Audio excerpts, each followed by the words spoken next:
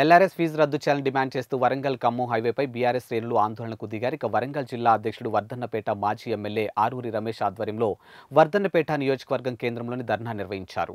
ఎన్నికల ముందు మాయమాటలు చెప్పి అధికారంలోకి వచ్చినటువంటి కాంగ్రెస్ నేడు ఎల్ఆర్ఎస్ పేరుతో ప్రజలపై భారం మోపాలని చూస్తుందని విమర్శించారు. ఇక ప్రజలకు ఇచ్చినటువంటి గ్యారంటీలు అమలు చేయకుంటే పెద్ద ఎత్తున ఆందోళన చేస్తామని హెచ్చరించారు.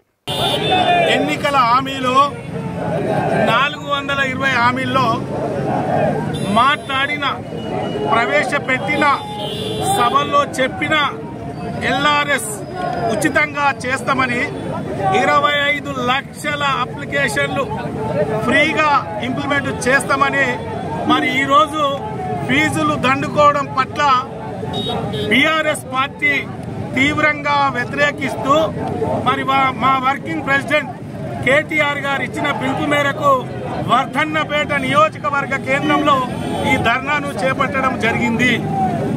అబద్దాలతో అబద్దాల ప్రచారంతో మోసపూరిత వాగ్దానాలతో అధికారంలోకి వచ్చిన కాంగ్రెస్ ప్రభుత్వం నాలుగు వందల ఇరవై హామీల్లో ఏ ఒక్కటి అమలు చేయకుండా ఆరు గ్యారంటీల పేరే చెప్పి మరి గ్యాస్ అని ఉచిత బస్ అని మాయ మాటలు చెప్పడమే కాకుండా మరి రైతు రుణమాఫీని దాటవేస్తూ మరి ఉచిత కరెంటులో అనేక లోపాలను చూపిస్తూ మరి తెల్ల రేషన్ కార్డులో అనేక కార్యక్రమాలు చేపడుతూ మరి ఆ రోజు ఇచ్చిన గ్యారంటీలను తుంగలో తొక్కి మరి ప్రజలను మోసం చేసే కార్యక్రమం ఈ ఎల్ఆర్ఎస్ కార్యక్రమాన్ని మరి మేము మీ ద్వారా ఈ ప్రభుత్వాన్ని ఒకటే డిమాండ్ చేస్తున్నాం.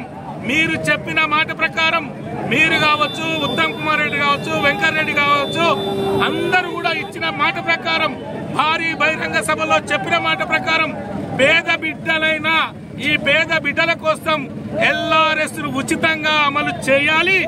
ఎలాంటి ఫీజు వసూలు చేయకూడదు.